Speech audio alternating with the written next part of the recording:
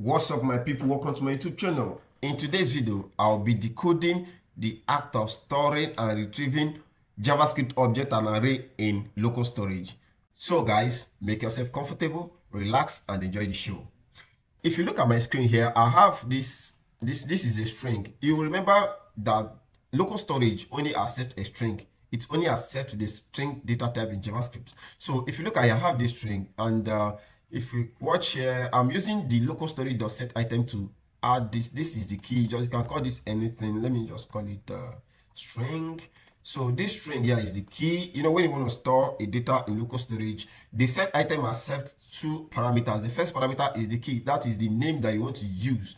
Let me call it a name of uh, data so that you uh, see it very well. Actually, this course is particularly on storing and retrieving of object and array in local storage because local storage only accepts string. So I want to demystify the act, how you can store and uh, retrieve object and array in JavaScript. So if you come here, this first key is the name of the, that's what you want to call it. Okay, so this is the data itself or the value that you want to store. And this one is the get, how you want to retrieve it. So if I go to my browser now, let me come to my browser. This is my browser here.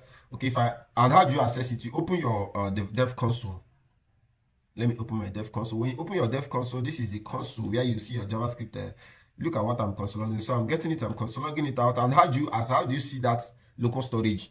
Yeah it is go to application. This is application come here. Then uh, you come to this place. If you watch down here look at your storage. Look at storage here. So this is storage under the storage you have this uh, local storage and you have session storage the indexed db and the cookies. These are other types of uh, uh, web storage. So what is local storage?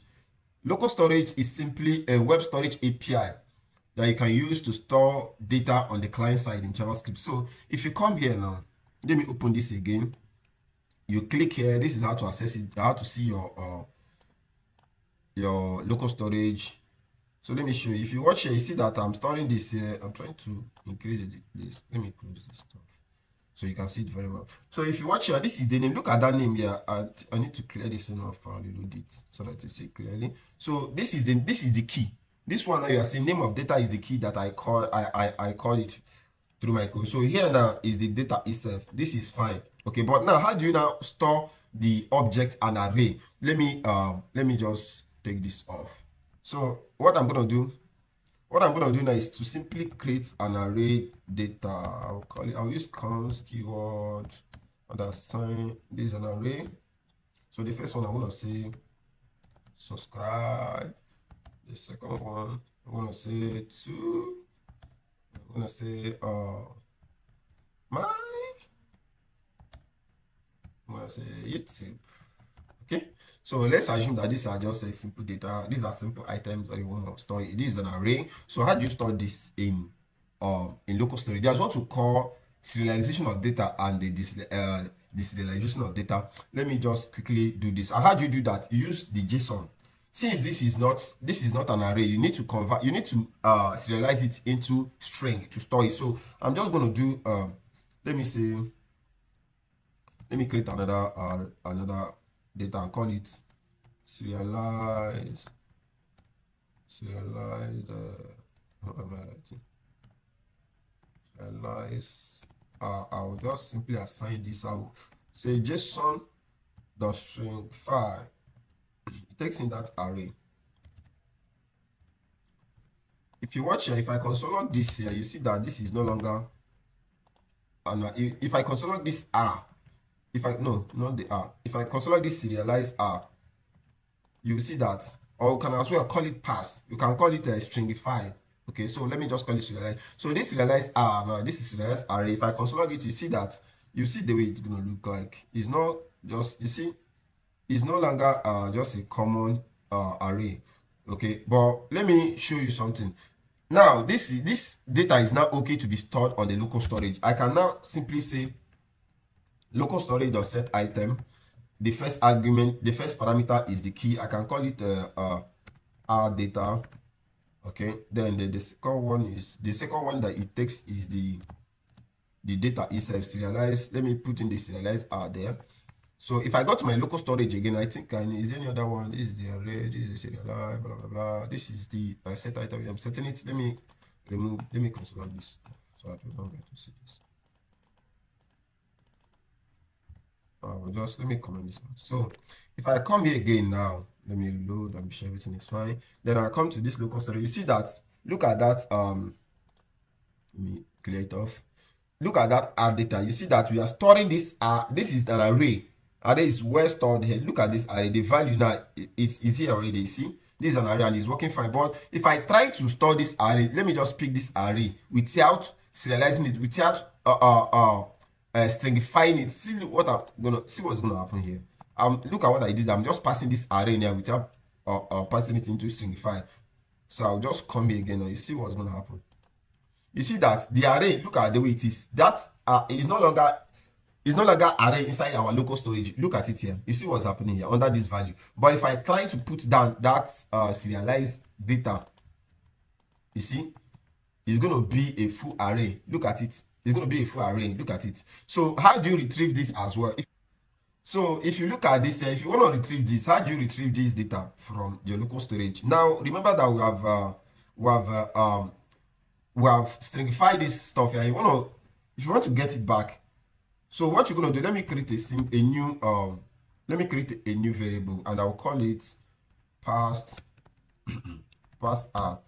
And how do you do that? You're going to use the json.pass. Remember the json.pass. I'm going to say json.pass.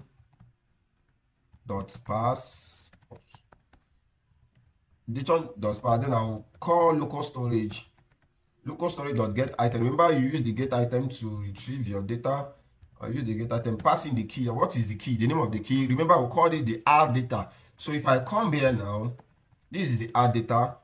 So I can simply console log whatever I'm getting from this uh, pass data variable. So I'll just console log this. Let me give you the key as well. So I will be sure what it So this here now, look, this is the past R. Look at it now. So if I go to my browser and look at it, it's simply, it's just an array that have just retrieved.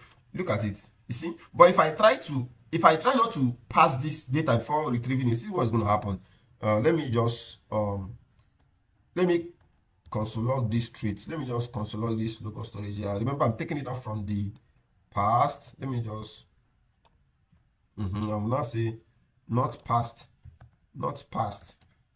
Okay? If i say not past you see the difference. You see the look. You see the difference. Here not past, this this data is not past, so this is not a good array. This is not an this data you, you are looking at here is not is not an it's just a json. But if you look at this one here now this one now is passed okay? It's passed so this is a simple way you can store and uh, retrieve array. So now let's go into object. Let's also see how what you can do with object as well. I'll just i think i should remove this console log there.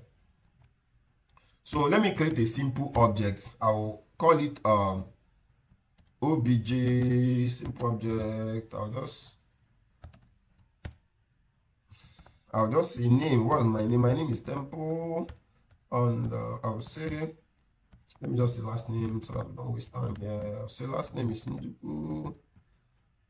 uh or let me say um, channel. Let me call it channel.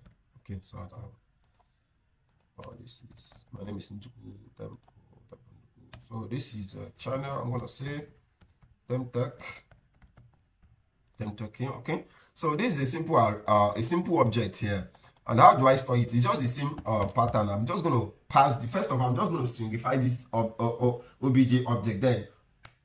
I can now store it in a local storage. Let me simply do let me local storage dot set item. I'll pass i'll call it obj data. Then i'll pass in the data i want to uh, store remember here now i have not passed this i have not stringified this data. And if i put it that way it's going to cause a problem. Let me go to our browser go to our browser. If i come here now and go to uh this let me clear it off and start again. You see it's writing object object. So this is not stringify i need to stringify it. And how do i do that? I will just simply cut this off and say json dot stringify. And this JSON takes in it takes the value that's the data you want to stringify look at it so if I go back there again now look at it and I'll reload look at it. It's not a good JSON. Look at it. It's not a correct JSON. And if I want to retrieve it, how do I retrieve it? Remember that I've just stored this data, this object into our local storage. How do I retrieve it? I'll just simply, I'll, what I'm going to do is to pass it. If you want to retrieve, you pass it. But you want to store, you stringify it. Okay, so what I'm going to do, I'll just simply create a new variable. I'll call it uh, past past obj. Uh, I'll say um I'll say JSON. This JSON dot pass. Okay, so I'll write my local storage here and say get item and put in the key. Where is the key? The key is uh, the object data. I'll just pass this stuff here. Okay, so if I console log this, um, if I log this pass obj, let me put in here. So if I log this here now and go back to my console, you will see that, let me reload this. We have our object, this is our complete object, okay? So this is just our cool object, but if I try not to pass it again, let me show you, if I try not to pass it, uh, let me just copy from there, then duplicate this, let me duplicate this stuff here, I'll show you something. So guys, if you have a question, please make sure you leave a comment on the uh, YouTube channel. Leave a comment under the video i'll respond to you. If i have any challenge you reach out to me on twitter or my uh my portfolio websites. I'll just i'll answer you. So if you come here now um this one now this uh line 20 this line 22 i'm not passing this. And i'm trying to let me call it not pass as well.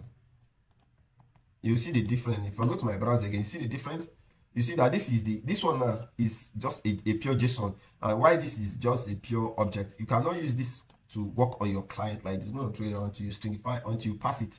Okay, so this is just a simple way to store and retrieve your object and arrays in local storage. Okay, so this video is completely on storing and retrieving objects and array in local storage. So in the next week, I think I'm going to be making a video on complete local storage course and also uh, session storage and the cookies okay? So guys if you benefit from what i'm doing kindly like the video subscribe to my youtube channel most importantly okay? That's a very simple way to support me and uh, also encourage what i'm doing.